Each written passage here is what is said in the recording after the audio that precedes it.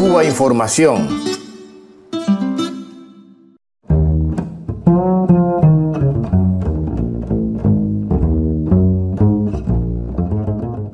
Cumplidos 43 años del asesinato de Salvador Allende y del golpe en Chile, son inevitables las comparaciones con la situación que hoy vive Venezuela. Las similitudes son grandes.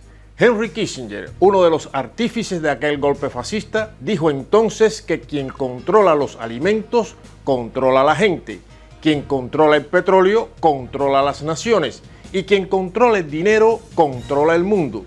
Hoy, la guerra económica contra Venezuela, muy similar a la que sufrió Chile, abarca los tres aspectos citados, el acaparamiento de alimentos y la especulación con sus precios, las operaciones para forzar la caída de los ingresos del Estado por la venta de petróleo y el bloqueo financiero que sufre el país.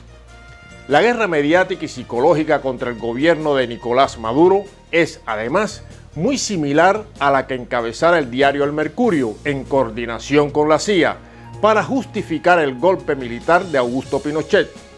Y como en Chile, Hoy el gobierno venezolano debe pelear contra una oposición que torpedea la acción de gobierno y desde el Parlamento defiende las mismas posiciones e intereses que el gobierno de Estados Unidos. El vicepresidente venezolano Aristóbulo Isturiz, al homenajear a Salvador Allende, declaró que el Chile de entonces es un espejo para la Venezuela de hoy, donde no se deben cometer los mismos errores en alusión a la desunión y ciertos sectarismos en la izquierda.